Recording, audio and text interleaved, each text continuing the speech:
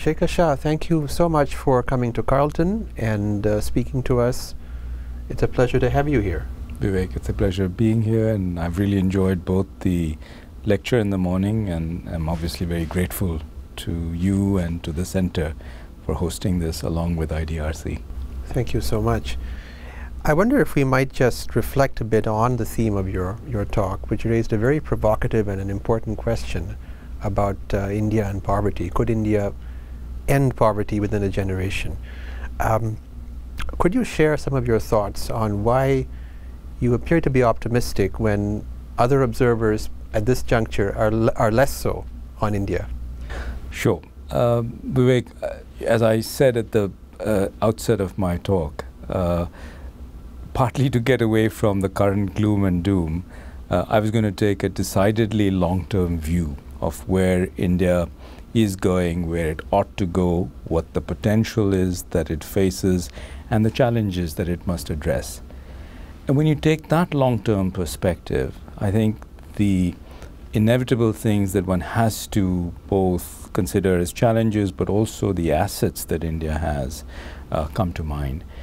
And in that mix, when I think about the amazing demographic transition that India is going to go through with a large section of its population so young and with such a great potential to be productive, to earn, to save, uh, that's going to be a major possibility for India. How Indian policymakers and Indian institutions gear up to that challenge is going to tell us whether that's going to be a big demographic bonus or it's going to be a big demographic onus.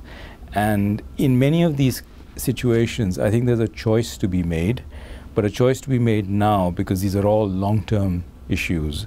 Skilling is a long term issue, dealing with India's water stressed nature in North India is an issue, dealing with primary education, its efficacy is an issue. But these are all things that are not amenable to quick fixes. And for that reason, um, I think the uh, reduction in growth rates that we are seeing is an extremely valuable wake up call. And it's a wake up call for Indians, it's a wake up call for the policymakers, it's a wake up call for the politicians. Uh, the possibilities are immense. We just need to seize the moment. We need to do the things that need to get done and then look to the future. Since you raised the, the, the growth rate, uh, Shekhar, there's been so much discussion, chatter lately, as you know, yes. about the downward revision to the growth in the last quarter of the last year, a lower forecast for this year, um, and very mediocre forecasts by Morgan Stanley and most investment banks and public institutions for the coming fiscal year. And as someone who works on this and who thinks about it, um, do you sh share the, the, the concern or the fear that India could be slipping back into a lower growth trajectory, that we, we might have already had our run of 7 or 8% growth and we're slipping back towards a new so-called Hindu rate of growth, not 3.5, but maybe 5%.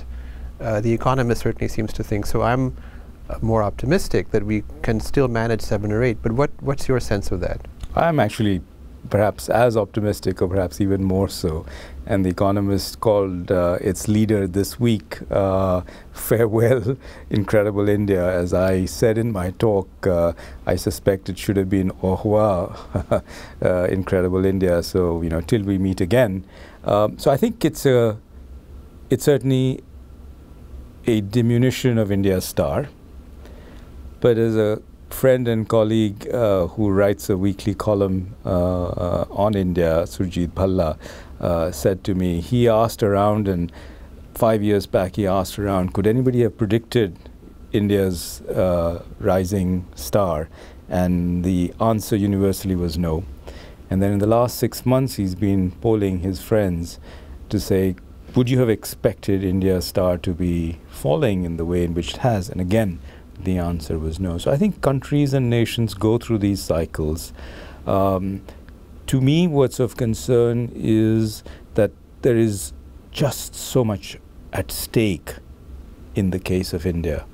Uh, I think the economist very rightly pointed to uh, the fact that if India is not able to regain its 7, 8, 9 maybe even 10% growth rate, the impact on India's poor and in general on one of the biggest social transformations that's underway anywhere in the world could be even bigger than the Eurozone crisis that we are seeing.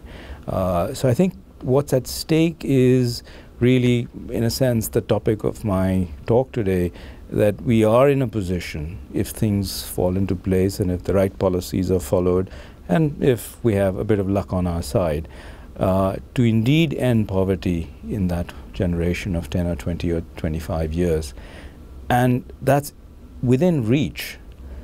So for me, I think the biggest disappointment comes from, but also the opportunity comes from this wake up call. Uh, I suspect that if uh, this wake up call is seen as for what it is, um, there is no doubt in my mind that India, still as the second fastest growing economy in the world, with the huge market that it represents, with the opportunities of the demographic transition that I talked about, with the fact that when the rest of the world is in doldrums at 2, 3 and negative rates of growth, India, alongside China, could still be the favored destination and should be the favored destination of foreign direct investment.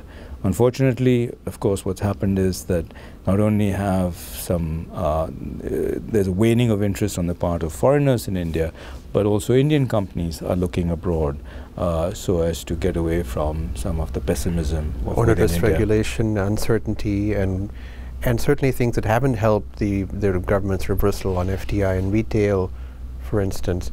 If I can just pick up a point that you that you made, or a couple of things you said. Uh, one very crucial that it's not growth for growth's sake. That growth is a key tool of um, to, towards combating poverty and other social ills. Mm-hmm. Something which the the uh, the Economist also makes, interestingly enough, and they're hardly a left-wing sort of socialist rag. So they recognize that, that link as well.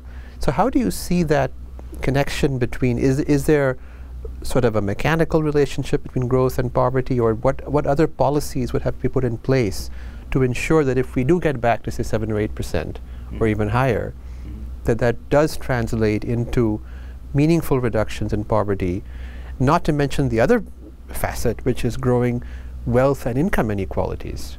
Mm-hmm. Um, so clearly, there's a established uh, elasticity of poverty reduction with respect to growth, and India's numbers on that elasticity are not terribly bad. So India's reduced poverty between the years 2004-5 to 2009-10 by about seven, seven and a half, eight percent, with greater reductions in rural poverty and somewhat smaller reductions in urban poverty. But the bulk of the Indian poor are rural, so that has a major impact. Um, that's with the 7 8% growth that we've seen. Um, so there is already a built in momentum that if India were to go back to uh, close to double digit growth, that would continue to have an impact on poverty. Uh, at the same time, I think there is a transformation underway in agriculture which is releasing low productivity workers from agriculture and allowing them to move into semi skilled and manufacturing type activities.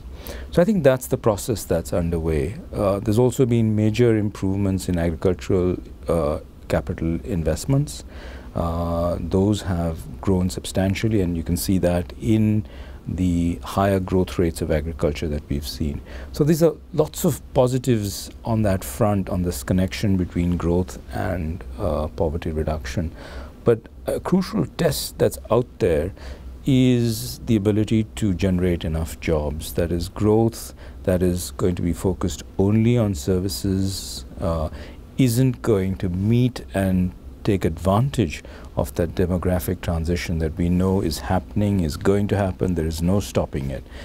And to the extent that uh, some of this growth can be in manufacturing, particularly low skilled manufacturing, uh, it will generate the jobs which will then lead to dramatic reductions in poverty. It will lead to things like income security, it will lead to things like food security that will release some of the current entitlements that have been built up in India in the last few years during the years of rapid growth and, and rapidly rising tax revenues. Those programs possibly could be even scaled back, releasing resources for more investments in skilling, for raising the skill levels of the average Indian worker, of ensuring their ability to compete in a global market. So I can see uh, real knock-on effects if the policy framework is there, if the right decisions are taken, uh, that generates growth and then translates that growth into meaningful poverty reduction, meaningful jobs.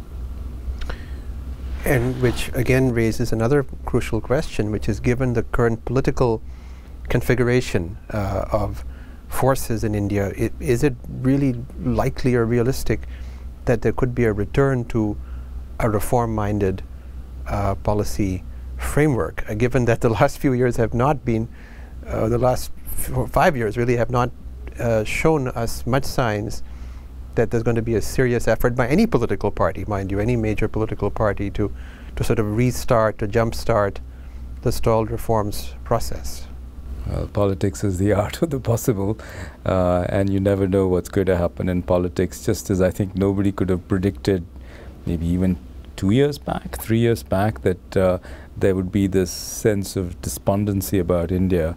Uh, I don't think one can predict what'll what'll happen in politics, uh, and certainly uh, in as fluid a place as, as India. But most uh, thinking more systemically, I suspect that the years of growth that the average Indian citizen has experienced over the last decade. Um, has fundamentally transformed people's views about what opportunity means, what the state can do for them, what they must do for themselves. Um, and I think that is gradually, and we see that at the margins, but it hasn't perhaps entered the mainstream. I suspect that that concern about opportunity, about the ability to do things in a free market, in a market that is growing very rapidly, is going to build up political pressures of its own. And I suspect that irrespective of the color or hue of the politician, they're going to ha have to respond. You can see that already to some extent in the way in which individual states within the Indian Union are striking out and taking very bold initiatives in areas at sometimes somewhat diametrically opposed to what the central government might wish them to do. And you can see that uh, across the board in the high income states, Gujarat, Maharashtra, some of the southern states. You can see that in the low income states of Bihar, Orissa, and others, where uh, uh, I think a new brand of leadership is coming about that is putting development first, that is putting growth first, that is putting efficiency in government first. And I think with very, very attractive results so that they are able to fuse the market for reform and for change with the market for votes. Uh, and that, when that happens, I think we'll have unleashed a tremendous amount of political energy in the right direction uh, that's going to propel India. So to me, that's the hope. The fact that Indians have tasted growth and the fruits of growth, the fact that this is a very young population with huge expectations and that they will make their voice felt. And I think something that you raised in your talk that many of India's young people have a very different mindset. And certainly we all see this talking to young people that we meet in India, that this is a generation that, that doesn't know Nehruvian socialism or Mrs. Gandhi's brand of socialism. This is a, this is a generation that's grown up sort of post 1991 and have, and have always had a, a, sort of a market system in which they operate and are, are entrepreneurial, mm -hmm. looking for opportunities. So that perhaps might cause a groundswell mm -hmm. of support working through the states up towards the center. That would be the hope.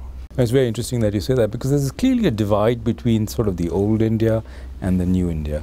And you see the old India and some of the institutions that are still around, and you see the new India and some other institutions that are really very, very different from anything that that the country has seen, whether it's the stock exchange or whether you think of the institutions of cell phone ownership with the levels of penetration, some 900 million cell phone owners in India. It's an amazing number. It's the largest market, uh, I think the largest cell phone market, and certainly the one that's growing the fastest. So I think between this new India and this old India, the tension is going to possibly increase for a while.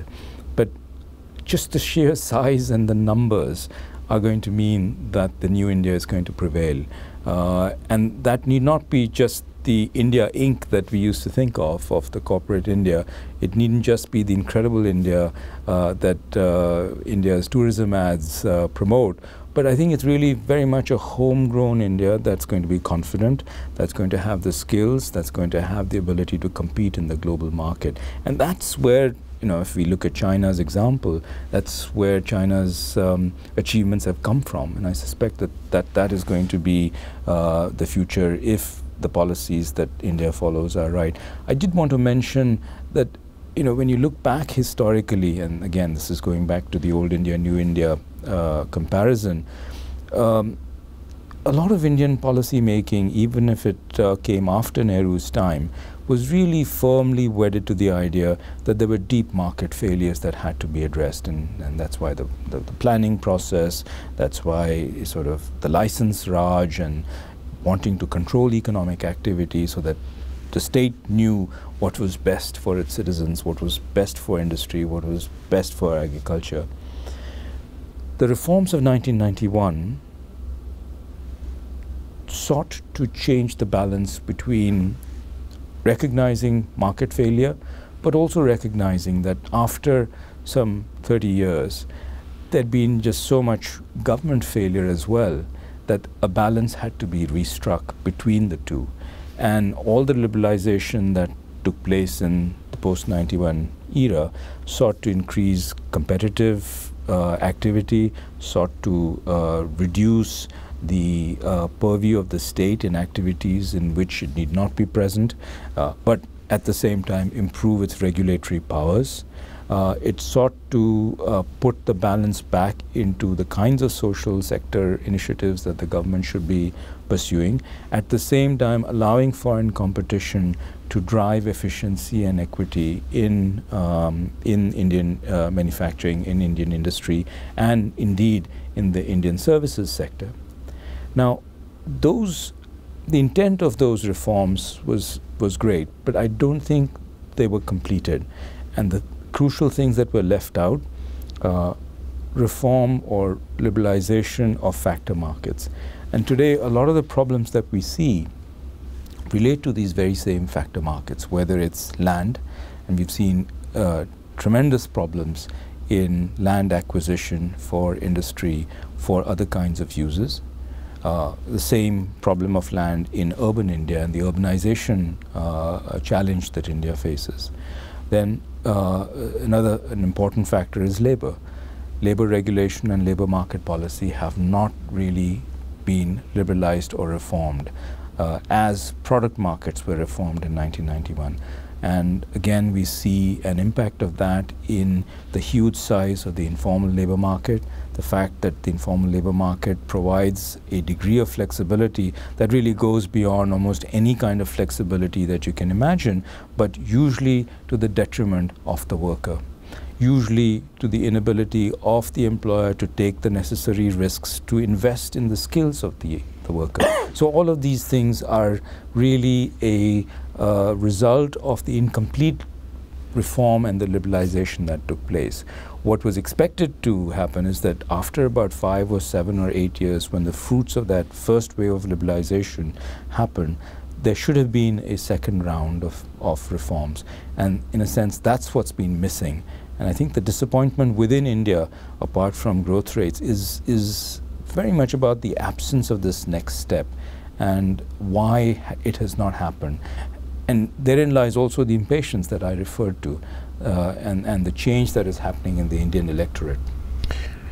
One interesting comment you made in your talk, which is something that some of us have written about, is that one of the failures of the 1991 and post reforms was the failure to really make the to, to make the case to the electorate of why we're doing it, what what does this serve. It was done in an ambiente of crisis, in a mode of stealth, as you also pointed out, and that seems to be sort of an original sin. I've written about it in, in a, a few places.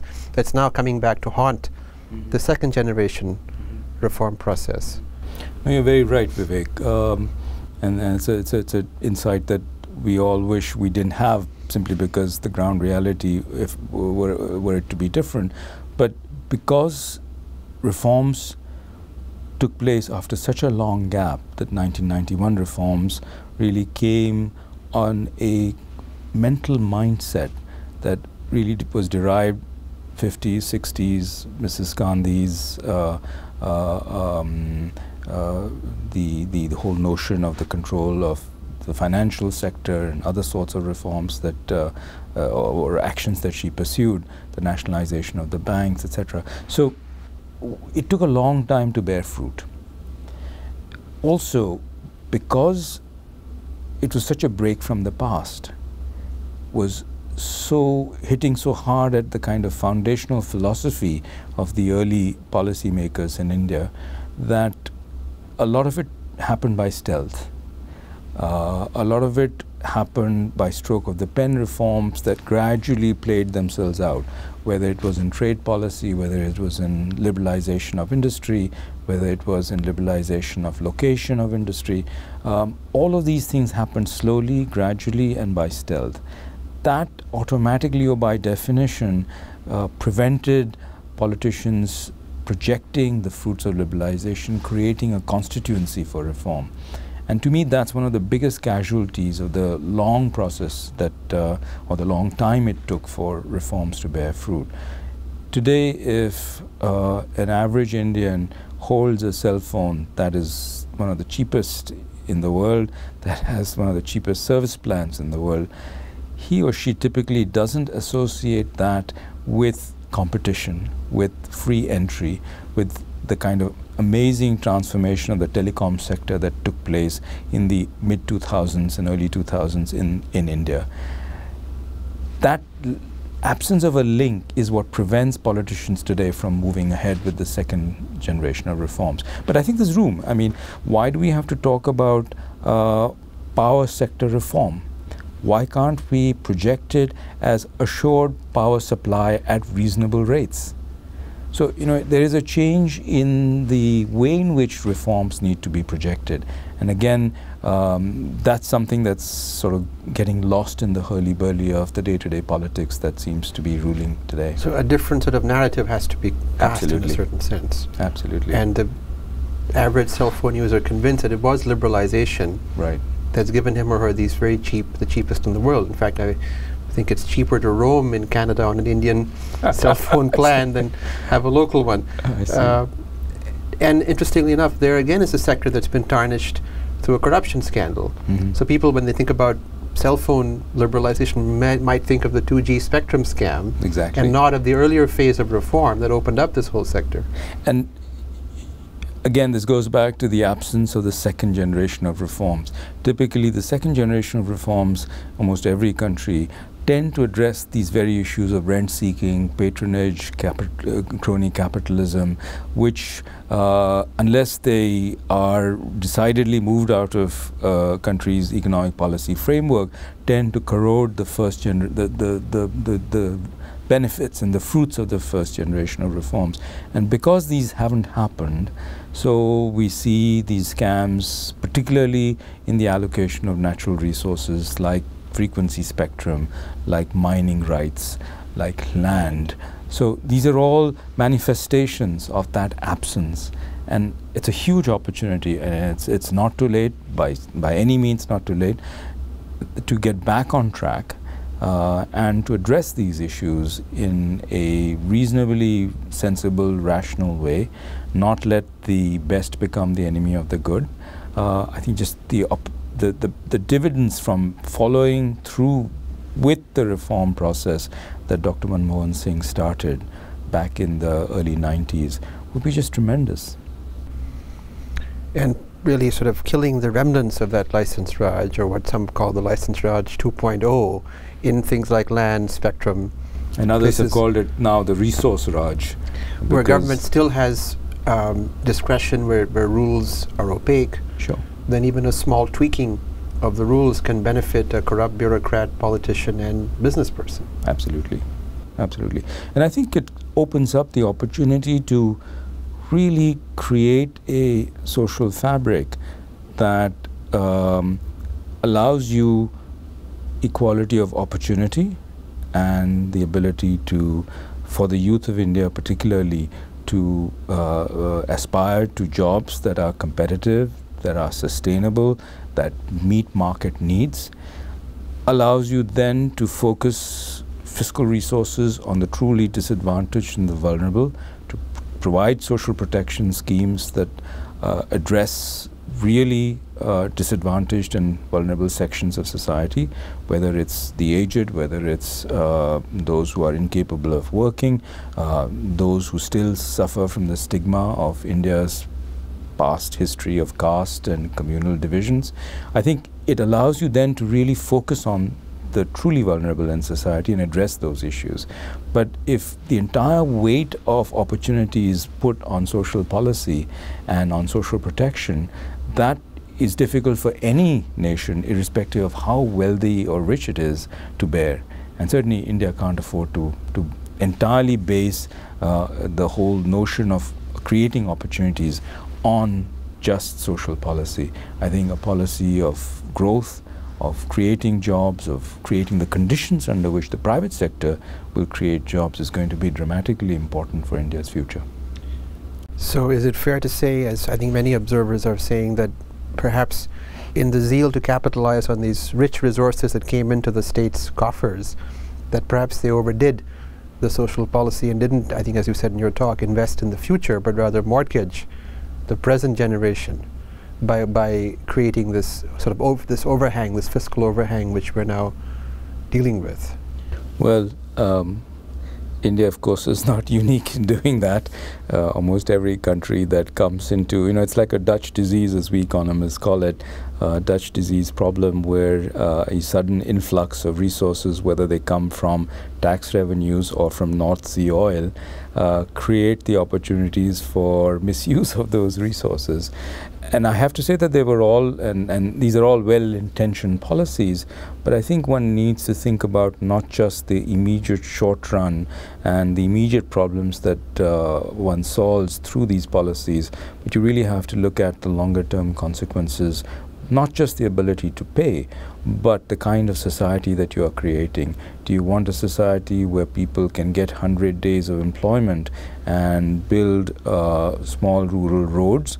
Or do you want to create a network of roads that then lead to greater commerce, greater industry, more jobs, more uh, urbanization, more schools, and create the jobs that would then employ these people in truly productive uh, pursuits rather than simply being dependent on 100 days of employment. Now, if you can create a transition between one to the other, then of course that's great. But if it is not clear how the transition is going to happen and you just expect growth to fall from heaven, as we know from history, it doesn't. Not too many countries can sustain long periods of growth and typically those that manage to sustain it only managed to do it for 15 20 25 years very few countries with perhaps now the most recent exception of China have been able to sustain those high rates of growth so that's a that's a fair warning to India that complacency uh, will not uh, lead to the kind of growth that India wants and needs as we are coming towards the end of our our time and this this um, fascinating conversation. Um, if you were sort of to, to, gaze into your crystal ball, uh, Shekhar, as you look forward, I, I, know that you're optimistic as I am, but um, how would you rate the odds if you kind of I can use a different metaphor, where we're going to be five, ten, or uh, or, or 30 years from now, looking ahead one generation, are we going to be at least um, making a big dent in poverty, if not, not removing this, that scourge? Are we going to be a richer country? Are we going to be, are we going to be stuck, mired in a, what some economists call a middle income trap, where we reach a certain point and then we sort of taper off?